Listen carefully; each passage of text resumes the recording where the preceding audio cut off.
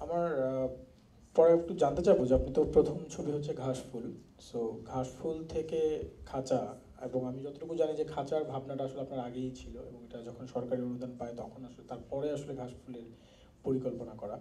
তো খাঁচা ছবিটার সঙ্গে আপনার নিজের ব্যক্তিগত মানে আমরা সবাই বলি যে আমাদের পরিচালকদের এক ধরনের আর্থিক যোগাযোগ থাকা লাগে মানে খাঁচার সঙ্গে আপনার ব্যক্তিগত কানেকশনটা কীভাবে হলো এবং খাঁচা নির্মাণের ভাবনাটা কীভাবে মাথায় এলো যদি দর্শক প্রায় সাত আট বছর আগে হাসান আইজুল হকের এই খাঁচা গল্পটা পড়ি তখনই আমার খাঁচা করার ইচ্ছে হয় কারণ খাঁচা আসলে দেশভাগ বা পার্টিশনের প্রেক্ষাপটে। তো দেশভাগটা হয়েছিল আসলে একটা জাতি উম, দ্বিজাতি তত্ত্বের অনুসারে তত্ত্ব হচ্ছে গিয়ে যে ধর্মভিত্তিক জাতি ভাগ এবং রাষ্ট্রভাগ।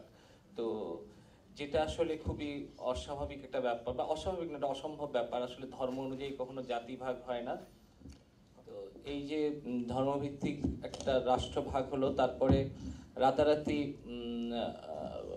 বাংলাদেশের হিন্দুদের মনে হলো এটা আর তাদের দেশ না এবং ভারতের মুসলমানদের মনে হলো এটা তাদের দেশ না এবং হিন্দুরা মাইগ্রেট করা শুরু করল, বাংলাদেশের হিন্দুরা ইন্ডিয়াতে এবং ইন্ডিয়ার একটা ব্যাপক পরিমাণ মানে একটা বড় অংশ মুসলমানরা মাইগ্রেট করা শুরু করল কি বলে পাকিস্তানে। এই ধর্মভিত্তিক রাষ্ট্রভাগটা মেনে নেওয়া মানে হচ্ছে এই অসাম্প্রদায়িকতার এই রাজনীতিকে স্বীকৃতি দেওয়া যেটা আর একটা বিশাল অংশ মেনে নিয়েছে নির্বিকার ভাবে তো এটা আমাকে সবসময় একটা ভয়ঙ্কর বেদনা বোধ দিত এবং আমার মনে হতো যে মানুষের রাজনীতিটা নিয়ে না আমি সবসময় কনসেন্ট ছিলাম মানুষের যে বেদনা সেটা নিয়ে। তো আমি খাঁচা চলচ্চিত্রটা এখান থেকেই নির্মাণ করেছি।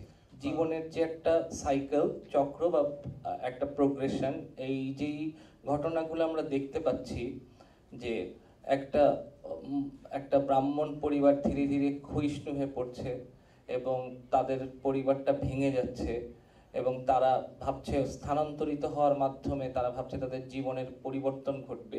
এটা খুবই সার্বজনীন এবং এটা সারা বিশ্ব জুড়ে এই ঘটনাটা কোনো না কোনোভাবে কেউ হয়তো আজকে কানাডায় চলে যাওয়ার কথা ভাবছে কেউ আমেরিকায় চলে যাওয়ার কথা ভাবছে। তো সেই দিক থেকে এটা আমার কাছে সবসময় খুবই প্রাসঙ্গিক এবং সমসাময়িক মনে হয় কিন্তু আমার দুর্ভাগ্য বলব আর ভাগ্য বলব যে আমি আসলে গল্পটা পড়িনি। কিন্তু আকরাম ভাইয়ের যে ছবিটা আমি দেখেছি এখন আমার মনে হচ্ছে আমি একটা উপন্যাসের মধ্যে দিয়ে গিয়েছি 영화 아주 재밌게 너무 잘 봤고요. 저는 그 영상이 너무 예뻐서 굉장히 미학적인 작품이라고 생각을 했습니다. 어, 저 궁금한 거는 어, 여러 가지가 있지만 자, 몇 가지만 얘기하자면은 이 영화가 약, 어, 시라진이 여성의 이 입장에서 보여진 영화라고 생각을 해요. 그래서 뭐 내용이 뭐 여성에게 사실 페미니스트라고 할 수는 없겠지만 굉장히 여성의 입장에서 본 영화라고 생각하고 일부 감독님께서 혹시 그걸 염두에 두고서 하셨는지 원작도 그러하였는지 궁금하고요.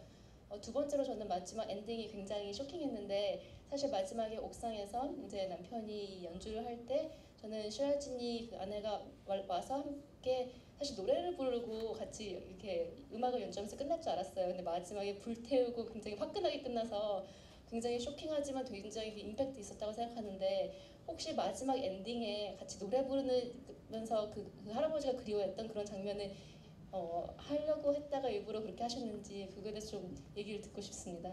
আহ, ধন্য- আহ, বলেছেন ধন্যবাদ আপনার ছবি খুব চমৎকার দেখেছি পাশাপাশি ছবির যে ভিজুয়ালাইজেশন যেটা আছে খুব চমৎকার খুবই সুন্দর আহ, তো ওনার মনে হচ্ছে যে এই ছবিটা ফেমিনিজম না হলেও অন্তত মেয়েদের দিক থেকে ভেবেই ছবিটা তৈরি করা হয়েছে। তো আসলে কি তাই? ওই দিকটা একটু জানতে চাচ্ছি। আর পর, আর দ্বিতীয় কোশ্চেন হলো যে ছবিটার মধ্যে শেষ দৃশ্যের মধ্যে মনে হয়েছিল যে, এটা খুবই সুন্দর এবং কি বলে মিউজিক্যাল কিছু একটা মানে পারফর্মের মাধ্যমে এটা শেষ হতে চলেছে। কিছু শেষের দিকে যে ধরনের মানে আগ্রাসন দেখায় দেখিয়েছে মানে যেটা, ওটা ওটা কি আসলে আপনার প্রথম মাথায় ছিল? নাকি মানে কথার মধ্যে থেকে মানে এটা কোনো পরিবর্তন হয়েছে কিনা? আমি, আমার খাসফুল ছবিটাও তাই ছিল। আমি সাধারণত নারীর দৃষ্টিভঙ্গি বা নারীর দৃষ্টিকোণ থেকে চলচ্চিত্র নির্মাণ করতে পছন্দ করি।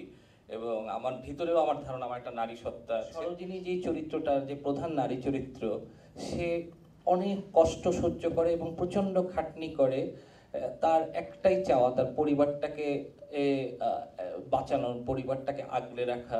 এবং সেটা সে প্রচণ্ড পরিশ্রম করে হাসি মুখে এটা করে যায়, শুধুমাত্র একটা স্বপ্ন দেখে একদিন এই দিন বদল ঘটবে, একদিন তার ভালো দিন হবে, একদিন হয়তো বা ওপারে গিয়ে সে একটা সুস্থির জীবন পাবে। এবং পুরুষদের তো আসলে নানাভাবে জীবনের বিভিন্ন বিভিন্ন জায়গায় সে তার স্বস্তিটা খুঁজে পায়। কখনো আড্ডায় চলে যাচ্ছে, কখনো। এবং সে যেহেতু তার পেট থেকে এটা হয় না, সে একভাবে সন্তানকে ধারণ করে ঠিকই, কিন্তু সন্তানকে আসলে সেইভাবে করে ওন করে না। সেটা নানা রকম ভাবে তার বিভিন্ন সময় বিভিন্নভাবে সে এই তার অন্য একটা পুরুষের নানা রকম ভাবে তার স্বস্তি খুঁজে পাওয়ার ব্যাপার আছে। কিন্তু একটা নারী তার পরিবারকে নিয়ে, পরিবারের মঙ্গল নিয়ে সারাক্ষণ চিন্তিত থাকে। এবং এবং শেষে যখন নাকি অম্বুজাক্ষ বলল যে আমাদের আর যাওয়া হবে না এইটা আসলে কি সরোজিনী এই স্বপ্ন যদি প্রবঞ্চনাও হয়ে থাকে, তাহলেও এই প্রবঞ্চনা নিয়েও বেঁচে থাকতে রাজি আছে। কিন্তু তার তার তার হাজবেন্ড বা তার অম্বুজাক্ষ তাকে বলবে যাওয়া হবে না, এটা একটা অনেকটা মৃত্যুদণ্ড মৃত্যুদণ্ড ঘোষণার মতো তার কাছে। যে তার মানে এই প্রবঞ্চনাটাও তাকে দেওয়া অতটুকু যে যতটুকু নিয়ে সে বেঁচে ছিল ওই অধিকারটাও তার কাছ থেকে নিয়ে নেওয়া হলো। এবং সেই সময়টা সে তার মানসিক ভারসাম্য আর ধরে রাখতে পারেনি। এবং এই যে সে ধরে রাখতে পারেনি এবং সে যখন নাকি একটা আক্রমণাত্মক হয়ে ওঠে, এই ধরনের আক্রমণ আমরা বলি না বলি, কখনো কখনো আমাদের স্ত্রীরাও এই এই এই দুর্গারূপ বা আমরা এরকম অ্যাগ্রেশন কিন্তু নারীর এইটা, নারীর এই শক্তির অ্যাগ্রেশনটা আমরা দেখতে পাই।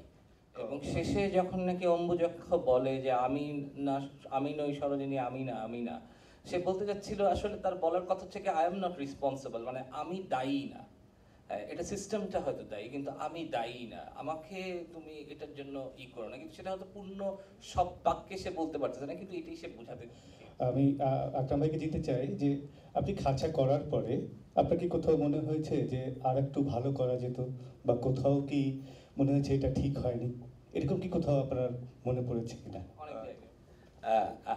বেশ কিছু জায়গায় আমার মনে হয়েছে কিন্তু আমি এটা মনে করি কি যে আমরা যে আমরা সারা জীবন ধরে একটা অমোঘ চলচ্চিত্র নির্মাণের আশায় নির্মাণ করে যেতে থাকি। মানে আমি বলি যে আসলে আমরা যে মোটিভেটেড হই একটা সিনেমা থেকে আরেকটা সিনেমায় বানানোর, সেটা হচ্ছে কি আমাদের ভেতরে যেই আমাদের ভিতরে যেই অতৃপ্তি আছে সেটাই আসলে আমাদেরকে ড্রাইভ করে টু মেক আনাদার সিনেমা আরেকটা সিনেমা বানাইতে। সুতরাং যেদিন ওটা মিটে যাবে সেদিন হয়তো আমি আর সিনেমা বানাবো না। তো এটা সবসময় থাকবে, এটা সম্ভব না। এবং সেটা থাকবে বলেই আমার মনে হচ্ছে আরেকটা চলচ্চিত্র বানানো বানানো উচিত বা বানাইতে চাই আমি। তো ওকে। আমি করছি পরিচয়টা দিলে ভালো হতো। আচ্ছা। হ্যাঁ। আমি আহ, কথা কথাই দিচ্ছি কথা বাংলাদেশ কালচার অ্যাসোসিয়েশন ইন কোরিয়ার সাধারণ সম্পাদক। আচ্ছা আমার একটা প্রশ্ন ছিল আমি ঠিক জানি না ব্যাপারগুলো কিন্তু আমি যেটা জানি যে যখন একজন ডিরেক্টর মুভি মেকিংয়ের জন্য মানে স্ক্রিপ্ট পড়ে তখন তাদের মাথায় থাকে যে এই ক্যারেক্টারে এনাকে ভালো ফিট হবে এই ক্যারেক্টারে এই অ্যাক্ট্রেসকে বা এই অ্যাক্টরকে ভালো ফিট হবে। হ্যাঁ। জি কাস্টিং প্রসেস তো। সো আপনার কি প্রথম থেকেই ছিল যে সরোজিনী ক্যারেক্টারের জন্য জয়া হোসেন একদম পারফেক্ট ম্যাচ হবে এরকম? হ্যাঁ আমার প্রথম থেকেই মনে হয়েছে যে জয়া হাসান ক্যারেক্টারটার জন্য ঠিক হবে। আমি যখন গল্পটা পড়তাম তখন থেকেই ওকেই আমার মাথায় আসতো। এটা মজার ব্যাপার হচ্ছে গিয়ে আমার প্রথম আমি একটা প্রথম স্বল্পদৈর্ঘ্য চলচ্চিত্র দিয়ে শুরু করি, সেটার নাম অধ্যায়, এটা ছিয়ানব্বই সালের। আমার আমার তখন মানে বাইশ বছর বয়স। তো ওই সময়ে আমি যখন অধ্যায় করি তখন অদ্ভুতভাবে পাবেলের একটা প্রথম কাজ ছিল, আজা- আজাদ আবুল কালামের। আর মামুন ভাইয়েরও আমার সাথে প্রথম কাজ ছিল যে বিশ বছর আগের ঘটনা। তো অদ্ভুতভাবে এটা একটা চক্রের মতো যে বিশ বছর পরে আমার আর দ্বিতীয় পূর্ণ দৈর্ঘ্য চলচ্চিত্রে ওরা দুইজন এসেছে। তো ওরা আমার খুব ভালো কাছের, মামুন ভাইয়ের বয়সে আমার চেয়ে বড় আজাদ আবুল কালামও আমার চেয়ে বয়সে বড়, কিন্তু তারা আমার খুব ঘনিষ্ঠ বন্ধুর মতো এবং ওদেরও হাসান আজিজুল হকের প্রতি একটা ভালোবাসা আছে এবং দেশভাগও ওদের কাছে খুব স্পর্শকাতর একটা বিষয়। আর তাছাড়া দুইজনেই আবার এবং আজাদ আবুল কালাম একটা কো স্ক্রিপ্ট রাইটারও তো সেই দিক থেকে এটা খুবই অদ্ভুত একটা অভিজ্ঞতা। আর জয়া হাসান আমাদের বন্ধুর মতো কারণ প্রায় আমরা সমবয়সী এবং অনেক আগে থেকে কাজ করেছে এবং সেও খুবই বাংলাদেশের আসলে কি যে কোনো নায়িকাকে যদি বলতাম যে কর- করতে চার বাচ্চার মা হবে বড় বড় এটা নিয়েই অনেক সময় চলে যেত। মানে ওরা রাজি হইতো না এটা হচ্ছে প্রথম কথা। এবং তাকে বয়স হ্যাঁ। হ্যাঁ, এবং তাকে বয়স্ক চরিত্র করতে হবে, একটা বয়স পর্যন্ত সেটা নিয়েও অনেক চিন্তিত। তো জয়া হাসান যে কোনো ভালো চরিত্রের জন্য যে কোনো ঝুঁকি নিতে রাজি আছে, এটাই জয়া হাসানের আমার সাথে ভালো। আমার নাম সাইফুল হক, আমি ঢাকা বিশ্ববিদ্যালয়ের সাংবাদিকতা বিভাগের অ্যাসোসিয়েট প্রফেসর এই ধরনের ছবির মধ্য দিয়ে কি আমাদের যেই সোসাইটিতে আসলেই যে নারীর অবস্থা, সেইটার যে রেপ্রেজেন্টেশনটুকু হয় সেইটার পরবর্তীতে আসলে আপনার মানে অ্যাজ এ ডিরেক্টর কারণ আপনি নিজেও তো একটা জার্নিতে থাকেন যখন এই ছবিটা করেন। সো খুব স্পেসিফিকভাবে আমি জানতে চাই যে এই ছবিগুলোর মধ্য দিয়ে মানে বাংলাদেশে বর্তমান যে জেন্ডারের স্টেরিও টাইপগুলো আছে, সেগুলো কতটুকু আসলে সাকসেসফুলি ভাঙছে? একটা চলচ্চিত্রকার আসলে চলচ্চিত্র নির্মাণ করে, সে আসলে এক ধরনের নানা রকম প্রশ্ন উত্থাপন করে, কিন্তু এটা উত্তর দেওয়ার কাজ আসলে শিল্পীর না। এটা যারা যারা সোসাইটির মধ্যে যারা অ্যাক্টিভিস্ট আছে, তারপরে তারা- এটা করবে। একটা সমস্যা উত্থাপন এক ধরনের করতে পারে বা একটা ইঙ্গিত দিতে পারে। আপনাদের সবাইকে অনেক ধন্যবাদ আসবার জন্য এবং সর্বশেষ আকরাম ভাইকে অসংখ্য ধন্যবাদ যে এত কষ্ট করে সিউল আসবার জন্য। তো আমার নিজের ব্যক্তিগতভাবে সর্বশেষ আমার মনে একটা প্রশ্নই জিজ্ঞেস করা আছে যে আপনার সিউলে যে তৃতীয় বাংলাদেশ এবং সিউল বাংলা চলচ্চিত্র উৎসব হচ্ছে এবং এই উৎসবে কোরিয়ার বাংলাদেশি যারা হচ্ছে এখানে থাকছেন এবং একই সঙ্গে কোরিয়ান অডিয়েন্স এই উদ্যোগটা এই উদ্যোগটার বিষয়টা আপনার কাছে কেমন আসলে ওভারঅলি মনে হয়েছে এবং এইটা অদূর ভবিষ্যতে আসলে কি ধরনের কালচারাল ইম্প্যাক্ট ফেলতে পারে বলে আপনার কাছে হ্যাঁ, আমার কাছে এই তৃতীয় সিওল বাংলাদেশ চলচ্চিত্র উৎসবটি একটা খুবই চমৎকার একটি প্রয়াস মনে হয়েছে এবং এটা খুবই এত সীমাবদ্ধতার মধ্যে এটা যেভাবে করে এখানে যারা আয়োজকরা করেছেন সেটা আমি বলব যে খুবই মানে খুবই আশাপ্রদ।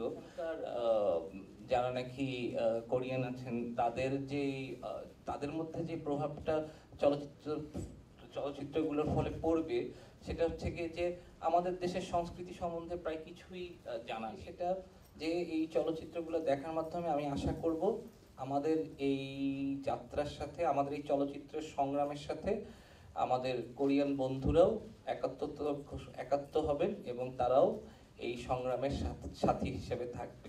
এটাই আমার, এই চলচ্চিত্রের মাধ্যমে আমরা এটা অর্জন করতে পারলেই যথেষ্ট। সবাইকে ধন্যবাদ। আর একটু কিছুক্ষণের মধ্যেই আমাদের সর্বশেষ ছবি এই উৎসবে প্রদর্শিত হবে। স্বপ্নজল এবং স্বপ্নজলের পরিচালক আমাদের সেলিম ভাই গিয়াসুদ্দিন সেলিম ভাই, উনিও আমাদের সাথে উপস্থিত আছেন। সো আমার মনে হয় আপনারা সবাই উপস্থিত থাকবেন নেক্সট জিবির জন্য এবং আকরাম ভাইকে অসংখ্য ধন্যবাদ।